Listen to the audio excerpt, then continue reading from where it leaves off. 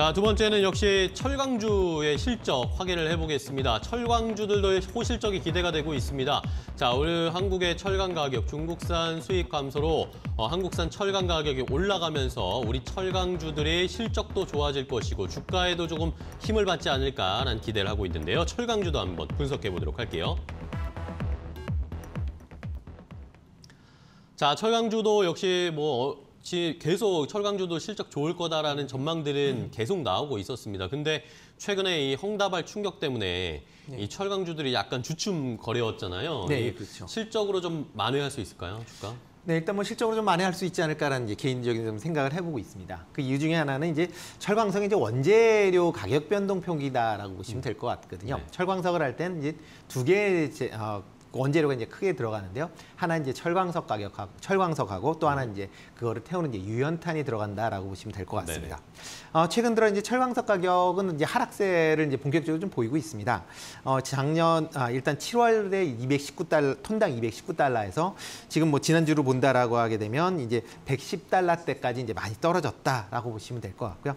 그만큼 이제 철광석에 대한 부분은 이제 상당히 좀 긍정적인데 유연탄 부분이 조금 이제 그 강세를 좀 계속 보이고 있습니다. 그래서 어, 보면 지금 연초 대비로 해서 지금 한 300% 정도 올랐습니다. 지금 뭐 지난 주 기준으로 한다라고 하게 되면 이제 유연탄 가격이 이제 400불을 넘었었기 때문에 그만큼 이제 원가 부담이 좀 커졌다라고 보시면 될 것 같고요. 어, 이렇게 이제 두 개 이제 그 상반되는 이제 원자재 가격이 이제 변동폭이 있었는데 어, 그렇기 때문에 이제 그 전반적으로 본다라면 원자재 가격이 조금 더 이제 안정화되는 이제 그런 추세다라고 보시면 될 것 같습니다. 근데 이에 비해서 원, 그 철강산 제품은 계속 지금 올라가고 있다라고 보시면 될 것 같습니다. 어, 지금 이제 가장 크게 올라가는 이유가 중국사, 중국의 이제 철강 관련된 생산이 이제 상당히 이제 감소를 하고 있고요. 뭐 이유는 뭐 탄소 배출에 관련된 부분이 다 가장 크다라고 보시면 될 것 같습니다. 그러면서 이제 수출 관련된 환급세가 이제 없어지면서 관련된 수출 가격이 좀 증가를 했고 그거에서 수출이 좀 감소되고 있다라고 음. 보시면 될 것 같습니다.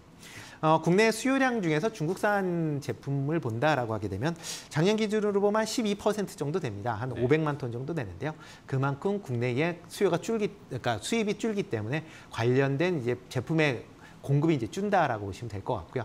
이에 비해서 그 수요는 계속 좀 증가를 하고 있습니다. 경기 회복이 이제 증가를 하고 특히 이제 그 건설 관련된 관련 수요가 이제 계속 증가하고 또 이제 조선도 수주가 증가하면서 관련 이제 수요에 대한 이제 기대감도 같이 있다 보니까 어, 관련된 이제 수요는 상당히 좀 증가하고 있는 그런 모습세다라고 보시면 될 것 같습니다. 네.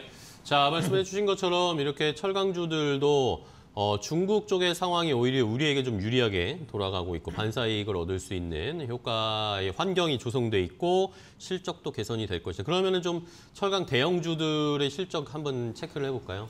네, 일단 뭐 그 대형주 한다라면 고로 회사다라고 보시면 될 것 같습니다. 뭐 철광도를 직접 갖고 있는 뭐 포스코 같은 경우는 지금 매출이 이제 3분기 이제 consensus가 나왔는데요. 한 18조 5천억 정도 지금 예상을 하고 있습니다. 네. 뭐 어, 매출 규모로 는 이제 작년보다 한 30% 정도 증가를 했고요. 영업이익도 2조 4천억. 그래서 작년보다 257% 지금 증가할 것이다라는 이제 시장 뭐 예측치가 나오고 있습니다. 현대제철도 이제 비슷하게 매출 같은 경우 이제 36% 증가한 6조 원 정도 지금 예상이 되고 있고요. 어, 영업이익이 엄청나게 이제 증가를 할 걸로 보이고 있습니다. 한 18배 증가한 6,600억 정도가 지금 네. 영업이익이 나올 걸로 그렇게 예상이 되고 있거든요. 어, 철강 그 관련 제품들 어, 관련 주, 이제 주식들은 지난 5월 달에 이제 고점을 찍은 이후에 계속 이제 좀 하락을 보였습니다. 그 가장 큰 이유가 상반기 실적이 이제 피크를 달 달할 거 아니냐라는 이제 그 음, 기대 네 어떻게 보면 기대 섞인 우려감이 이제 그 계속 반영이 됐는데요. 어, 그런데 실질적으로 보니까 지금 3분기에 어떻게 보면 더 좋아졌다라고 오. 보시면 될 것 같습니다. 그렇기 때문에 최근 들어 이제 주가가 옆으로 좀 많이 횡보를 했기 때문에 그거에 대한 뭐 일단 가격 메리트는 뭐 충분히 있는 그런 가격대 아닌가라는 생각이 들고 있고요. 어, 특히 이제 철강 제품이 지금 하반기에도 쉽게 가격은 떨어질 것 같지 않아 보이기 때문에 음. 일단 철강 원자재가 만약 올라간다라고 할 때 철강 제품의 가격 그 전이는 계속 있을 거다라고 생각이 되면 철강에서 입장에서 보면 실적은 계속 좋아지지 않을까라는 생각을 해봅니다. 그렇기 때문에 뭐 일단 주가 만등 모멘텀은 뭐 분명히 있을 것 같고요. 네. 다만 이제 뭐좀 전에 얘기했듯이 헝다 관련돼서 중국 이슈가 좀 불거진다라고 하게 되면 건설주나 뭐 기타 이제 국내 경기가 조금 주춤거릴 수 있으니까 그런 점 조금은 걱정하실 필요는 있는데 뭐 중장기적인 관점에서 본다라고 하게 되면 지금 가격대는 뭐 충분한 메리트는 있지 않을까 싶습니다. 음, 그러면 중장기적으로 투자하시는 분들 입장에서는 지금 뭐 헝다 때문에 출렁거리는 게 오히려 좀 매수 찬스도 네, 뭐 될수 기회일 수도 있겠네요. 있다라는 거고 이제 생각이 됩니다. 알겠습니다. 자 이렇게 철강주에 대한 분석까지 함께 확인을 해봤습니다. 삼성전자와 그리고 철강주들의 실적 정말 어, 이번 달 아니 다음 달이죠. 10월에 실적 발표할 때 잘 나올지 한번 확인을 해 보도록 하겠습니다. 자 오늘 루크투자연구소 임순재 대표와 함께 이야기 나눴습니다. 오늘 좋은 insight 주셔서 감사하고요. 다음 시간에 또 뵙도록 하겠습니다. 고생 네, 많으셨습니다. 고맙습니다. 고맙습니다.